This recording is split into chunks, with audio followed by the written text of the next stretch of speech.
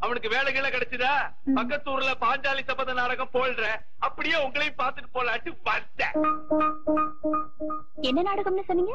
பாஞ்சாலி சபதம். அப்போ நாடகத்துல துயிலுரிய சீன் எல்லாம் இருக்குமே? அது இல்லாம இல்லையா அதான் நாடகத்துல மெயின் சீனு அந்த சீனை கொஞ்சம் நடிச்சு காட்டுங்களேன் ப்ளீஸ் எனக்கு பாஞ்சாலி இருந்தாதான் மூடு வலும் நான் தான் பாஞ்சாலி? அப்படியா. நீ என்னிடம் வசமாக மாட்டிக்கொண்டாய். உன்னை நான் விட மாட்டேன் உன்னை நான் விட மாட்டேன்.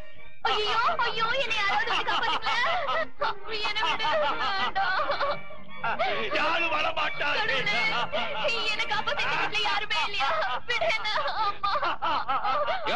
அந்த பொண்ணை என்னையா பண்ணிட்டு இருக்க?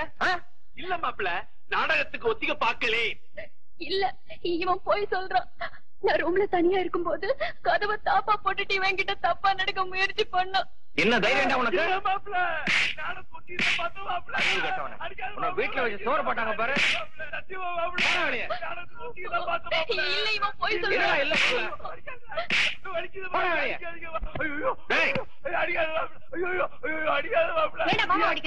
மாமனா மாமா. இவனை கண்டத்தனமா வெட்டணும். எதுக்குடா?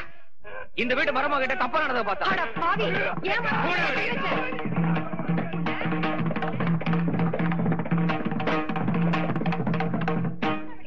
அடிக்காதக்கா. இனிமே மூஞ்சிலே முடிக்காத நன்றி கெட்ட நாய். வசந்த்? ரேகா வேற ஒண்ணும் அம்மா அவன் கீதா கிட்ட தப்பா நடந்துட்டான் எல்லாம் உன் நாடகம் தானா அவன் அடிச்சு துரத்துன மாதிரி. உன்னையும் அடிச்சு துரத்த வைக்கிறேன். அம்மா சொன்ன மாதிரி நீ நடந்துக்கிறது உண்மையா? சொல்லு உண்மையா? அவளை எது கேக்குற? அவதான் பேசாம நிக்கிறாள. நீ வேணா லதாவை கேட்டு பாரு. அவ சொல்லுவா. என்ன பேச மாட்டேங்கிற? சிவா. சுமாருங்க அண்ணி. நீங்க கொடுத்த செல்லம் தான் இவளை இந்த நிலைமை கொண்டு வந்து விட்டுருக்கு. இப்ப நீ பேச போறியா இல்லையா? அம்மா கிட்ட நீ நடந்துக்கிறது உண்மையா? ஆமா. பாத்தியாப்பா என்ன திமிர ஆமாங்கறா? போய் அம்மா கால்ல விழுந்து மன்னிப்பு கேளு. முடியாது. முடியாது? முடியாது. முடியாது?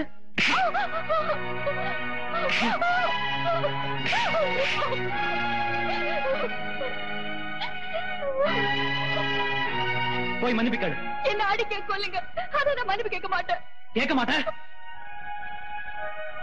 கட்டின பொண்டாட்டி எத்தனை பேருக்கு முன்னாடி கை நீட்டி அடிக்கிறியே? உனக்கு வெக்கமா இல்ல?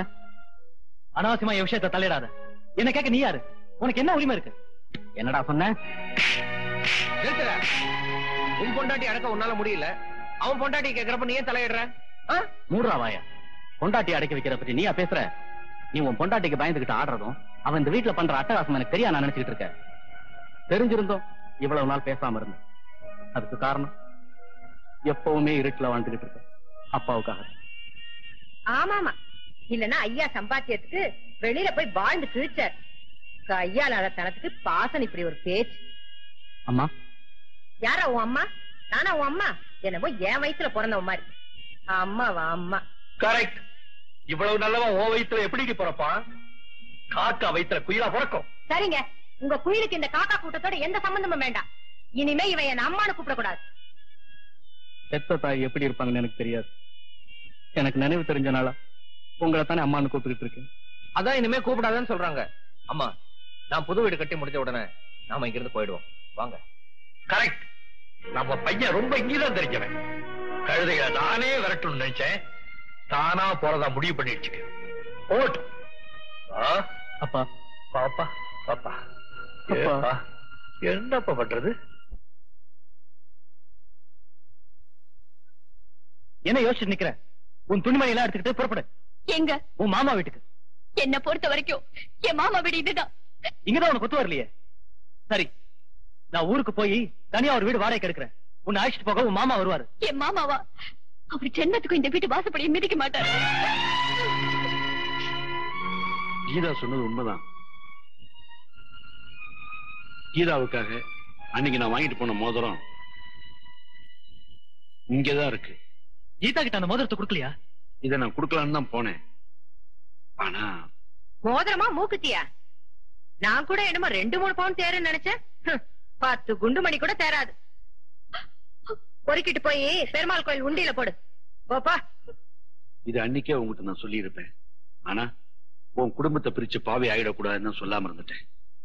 சிவா இப்ப கூட நீ எடுக்கிற முடிவுல தான் கீதாவோட வாழ்க்கையே இருக்கு.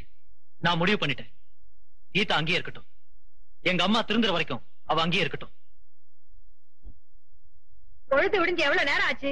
இன்னும் காஃபி வரலையே. உன் ரெண்டாவது மருமக இவ்வளவு நேரம் ஆகி இன்னும் தூங்கிட்டு இருக்காள அவளை எழுப்பி உனக்கு காபி கொண்டாட சொல்றது?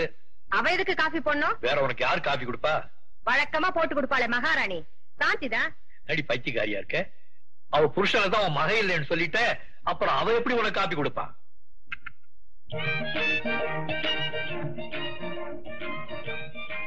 மாமா காஃபி.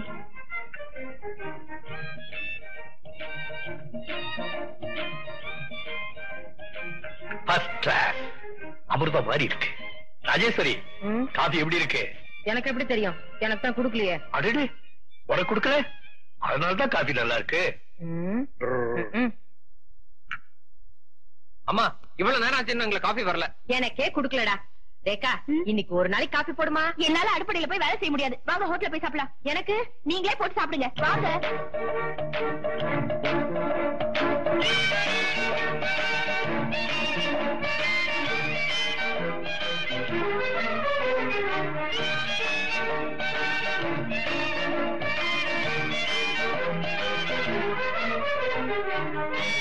சாந்தி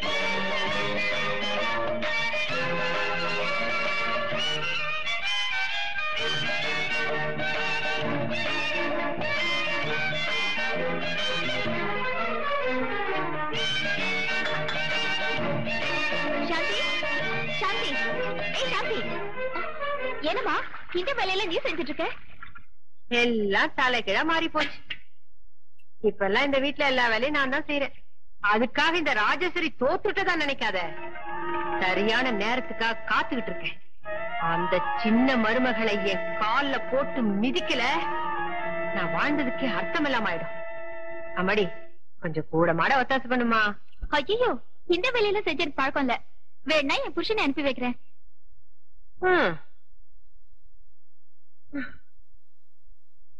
அம்மா அப்பா அப்பா. ராஜேஸ்வரி? ராஜேஸ்வரி? என்ன ரொம்ப கஷ்டப்படுற? உடம்புக்கு என்ன? நெஞ்சு வலிக்குதுங்க. காலு ஒரு பக்கமா ரொம்ப இழுக்குதுங்க. அப்படியா? பிள்ளைகளை கூப்பிட்டு டாக்டரை வரவழைக்க சொல்லட்டுமா? வேண்டாங்க. காலையில பாத்துக்கலாம் விடுங்க.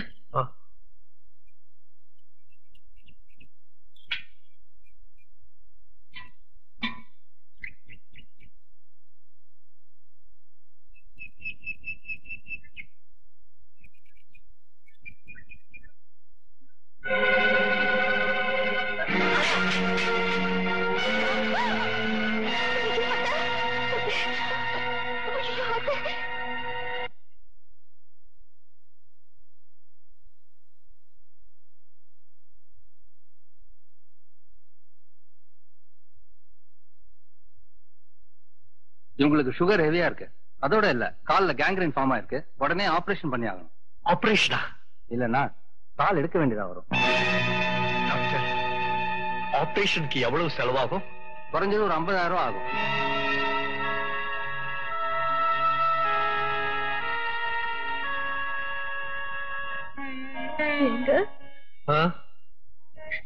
எனக்கா இந்த நிலைமை?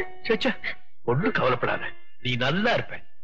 ஆனா ஆபரேஷனுக்கு ஐம்பதாயிரம் ரூபாய் ஆகும்னு சொல்றாரே. எங்க போறது? என் பையன் வசு கிட்ட சொல்லுங்க. எல்லா செலவையும் அவன் பாத்துக்குவான்.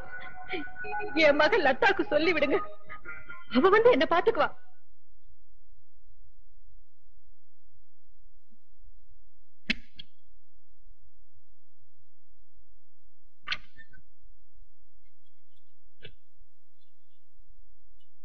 ஆமா இங்க வச்சிருந்த பணம் என்னாச்சு?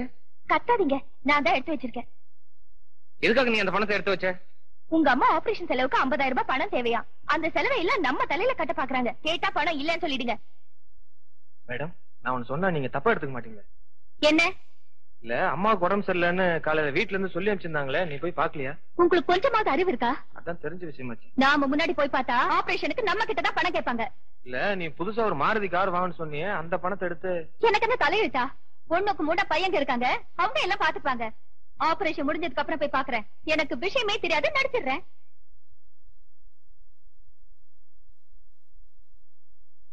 அம்மா அம்மா.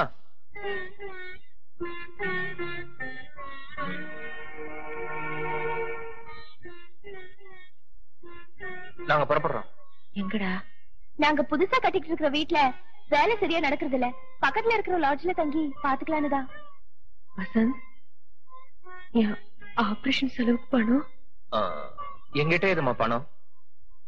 அன்னைக்கு ஐம்பதாயிரம் ரூபாய் பணம் வச்சிருந்தியப்பா. நாங்க கட்டியிருக்கிற புது வீட்டுக்கு ஏசி போட்டிருக்கோம். எனக்கு சூடு ஒத்துக்காதுன்னு டாக்டர் சொல்லிருக்காரு அந்த பணம் எல்லாம் அதுக்கு செலவழிச்சு அத்தை. ம். நாங்க புறப்படுறோம். வரேன்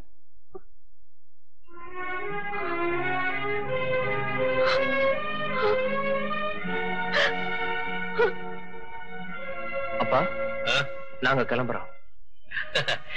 நீ கிளம்பிடுவேன்னு எனக்கு தெரியும். எங்க சொல்லாம போயிடுயோன்னு நினைச்சேன். பரவாயில்ல. சொல்லிட்டே போறியே. ரொம்ப சந்தோஷம். எங்க இருந்தாலும் நல்லா இருக்கணும். அவ்வளவுதான். அப்பா இதுல 200 ரூபாய் பணம் இருக்கு. அம்மாவை ஹாஸ்பிட்டல் கூட்டிட்டு போறப்போ டாக்ஸி செலவுக்கு வச்சுக்கோங்க. பணமா? நீ எனக்கு கொடுக்கறியா? உன் புது வீட்டுக்கு ஏதாவது சாமான் வாங்கி வைடா. அதான் வேண்டாங்கிறார்ல. வாங்க போலாம். நேரம் ஆச்சு.